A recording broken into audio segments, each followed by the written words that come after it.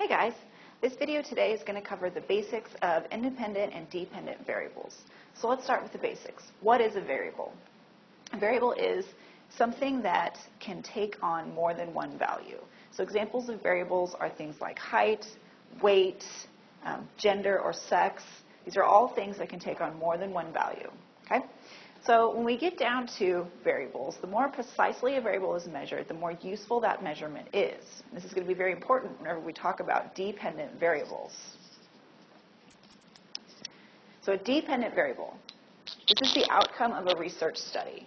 Okay? It's dependent on the experimental treatment. I always like to start with it first because it's usually easier to figure out than the independent variable.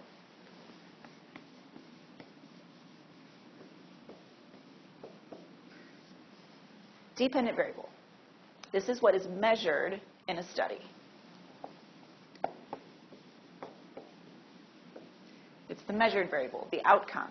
Now, the very important thing to remember about dependent variables is that they have to be a number. Okay? You're measuring something, you're measuring the outcome, it has to be a number.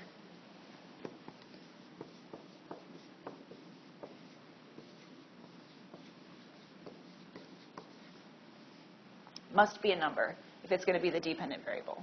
So things like weight can be a dependent variable because it's a number.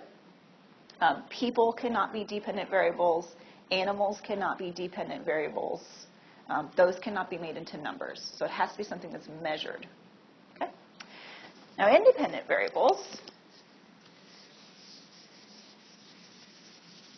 are what we are manipulating in our studies. Okay, we're manipulating it as support the researcher.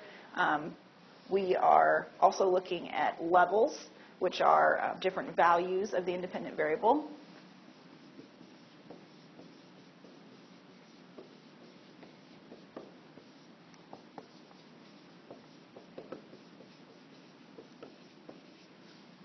So independent variable is what is manipulated in our experiment or in our study. So this is under the control of the researcher. The researcher is manipulating this. It has to be groups or it has to be levels for this to um, work in our studies. Must be groups. So if you're looking at um, effect of exercise on weight, for example, the weight, as I mentioned before, is our dependent variable because we're measuring it. It can be made into a number. You could look at weight in pounds or kilograms.